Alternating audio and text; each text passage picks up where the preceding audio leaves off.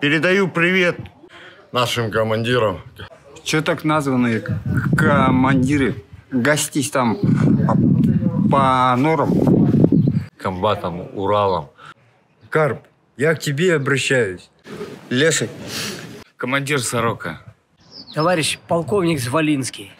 Привет, Даня. Это который командир роты, Чита, позывной. Мы там держались трое, трое суток. Не пришел.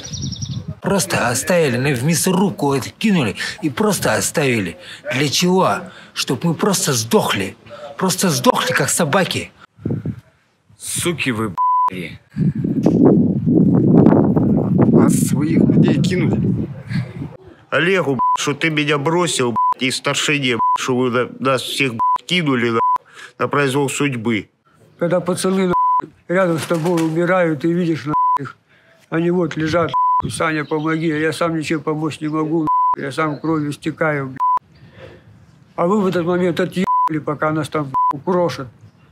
молодых пацанов оставил, погибать просто, помирать, у всех семьи, дети, у всех. Большой благодарность вам за то, что вы всех покинули.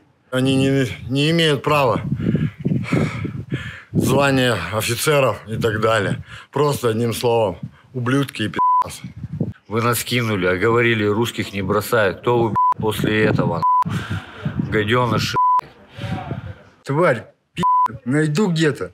Я тебя сам заточу в землю, понял? Козел. И этот еще леший с тобой был, командир. Я вас обоих из-под земли достану, тварей. И уничтожу, как смогу. Да вы как это можете себе позволить такое? Русских своих не бросают. Да вы бросили нас там, как пушечное мясо. Умирать, погибать. За что воюем, я сам не пойму. Прекращайте обманывать таких же мужиков, пацанов, как я.